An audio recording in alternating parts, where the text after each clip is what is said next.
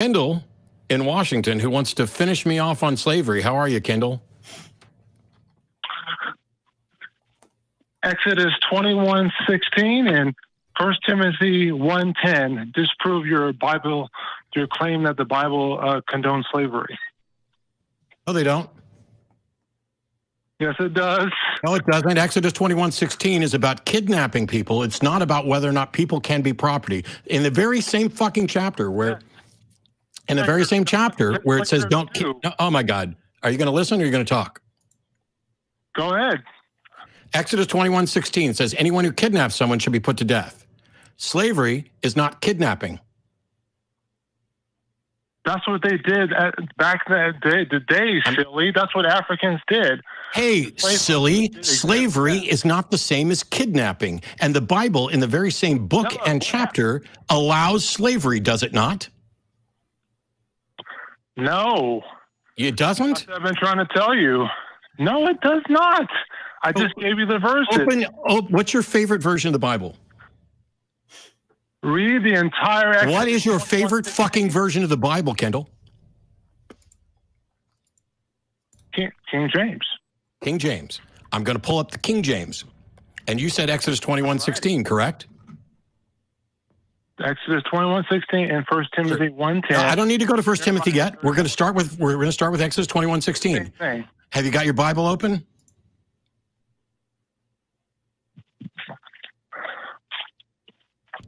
Do, do you have your Bible open? Well, how do you do? Uh, you're do, what are you defining slavery? Just want to make sure. Not that it matters. I mean, Slavery is the matters. owning of another person, another human being as property. as property. Correct. Okay. All right. Good. Keep going. Keep going. All right. Here. You're saying the Bible doesn't sanction that? Of course not. I just gave you one of the, the verses. I can give you more. You're, so you're saying the Bible does not say that you can own human beings as property? No, you just you didn't read the entire uh, Exodus 2016. I did read the Exodus 21. It's another- 2116, not 2016.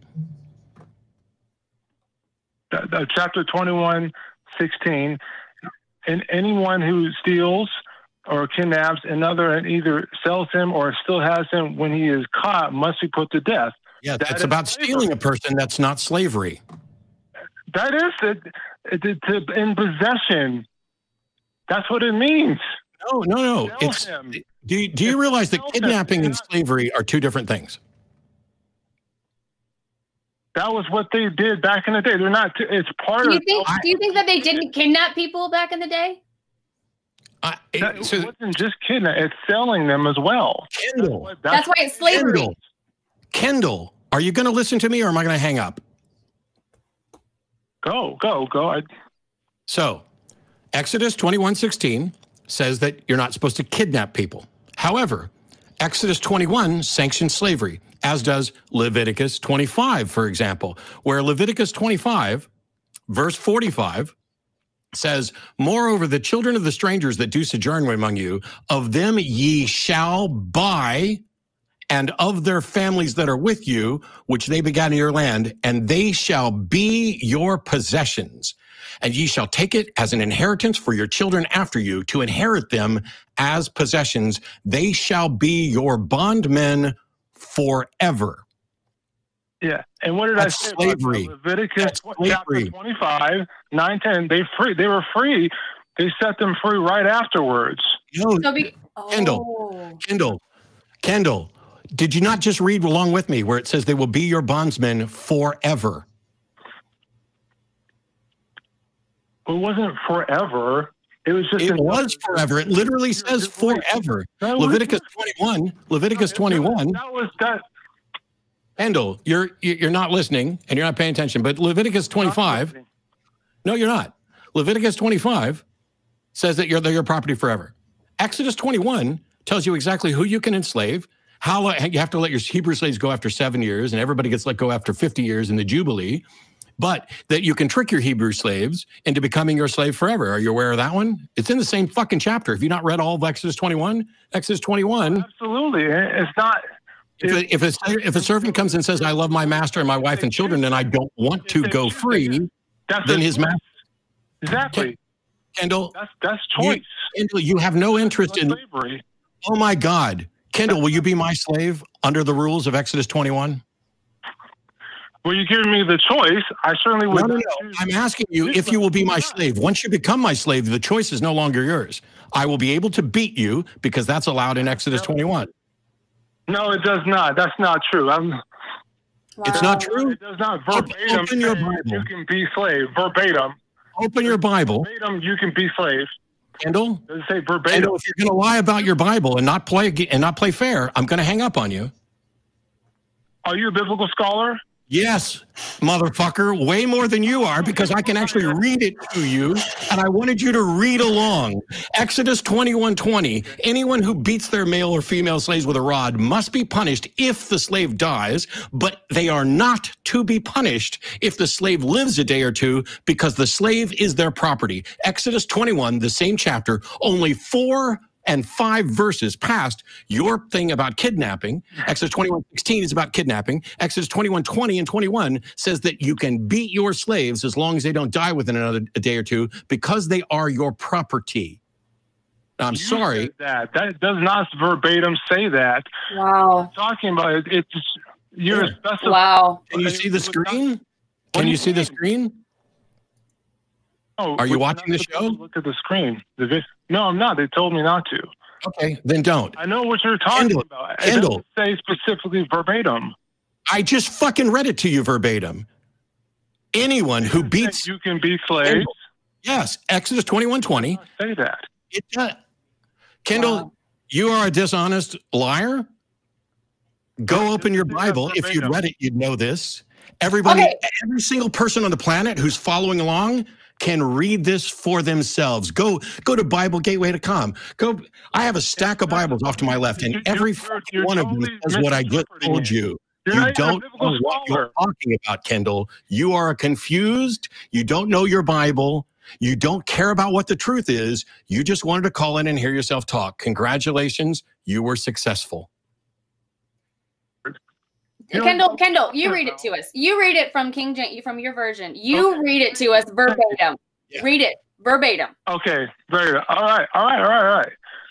Uh, hold on. Oh, yeah, okay. Exodus 21 21.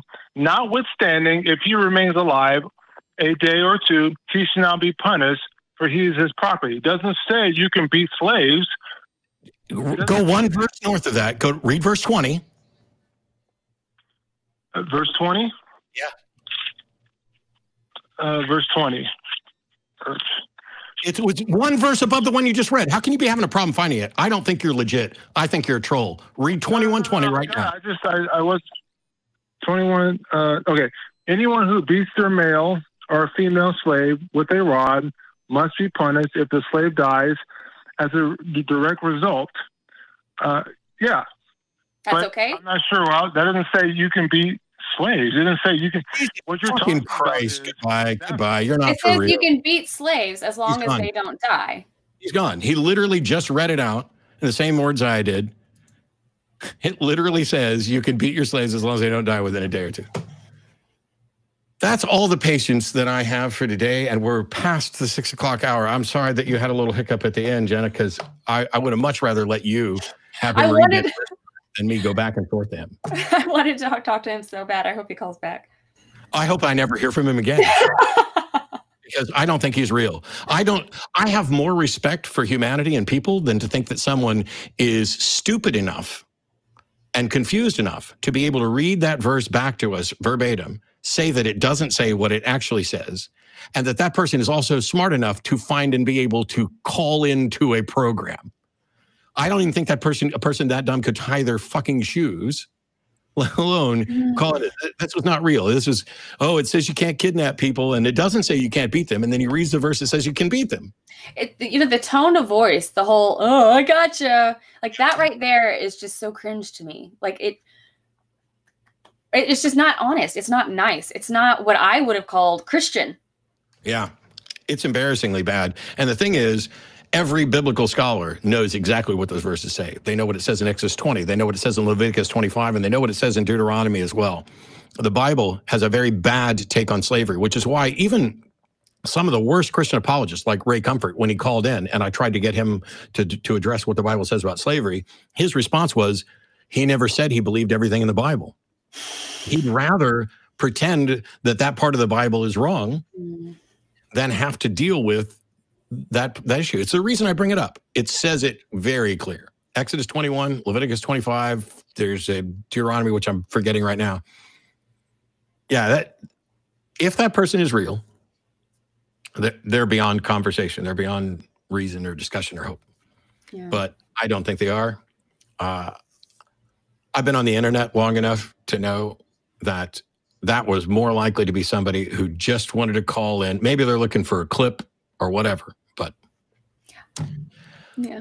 On that note, thank you very much, Jenna. I enjoyed being with you today. I hope you're having a good day and things uh, are improving for everybody else out there. Please take care of yourselves, take care of your loved ones follow the health and safety guidelines in your area, depending on how your area is dealing with the pandemic.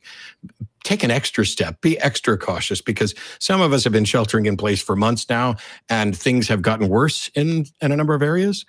Um, I, I went out, I, have left the house for the first time in months uh, to eat social distance dinners from a dozen feet away from anybody else on the planet. Uh, and it was still anxiety inducing mm. because we're not to a point where we're actually safe and making progress. And it's because there's problems with honesty. There's problems. This is the thing. In the same way that Kendall wouldn't would would read what it said word for word and then claim it said the opposite, that's what some people are doing with regard to the science around this pandemic. And What's the so, harm? Yeah, and so even though I'm convinced that Kendall was a was was a, a dishonest troll, um, it's possible that Kendall was for real. I but I want everybody. I'd love it if everybody were skeptical. I know you're not. I'm not you, Jen. I mean, I know people out there are not all skeptical. Um, tomorrow, I'm going to be speaking to Dragon Con uh, remotely at 1 p.m. Fun. Uh, Eastern, and it'll be my second year doing doing this with Dragon Con. Um, it's remote this year. It's all online, and I'm I'm looking forward to interacting there because every interaction I have, whether you know remotely, it it does a lot to make this bearable and to keep me from ripping into every mask hole jackass that I run into out in the world. Mm. But we are going to continue to keep doing this. I'm going to continue to hold people's feet to the fire, no matter who thinks I'm angry when I'm not, or who thinks I'm upset when I'm not. We'll keep working through technical issues. We'll keep doing all the things because not only are is what we're doing important and valuable, because there are people who do change their minds. And There are people who do benefit from these conversations. Maybe not always the person on the phone, but there is a group and a crew of hardworking people who we can put up on the screen, who make this show happen on a regular basis and oh, there's another kitty. oh, it's all the kitty. Everybody, if you've got cats, you should have them all up. I want to go but get mine. happy birthday to Vern. Thank you so much to everybody who volunteers and helps out and does this show. Uh, it's greatly appreciated. And we will see you all next week. Bye bye.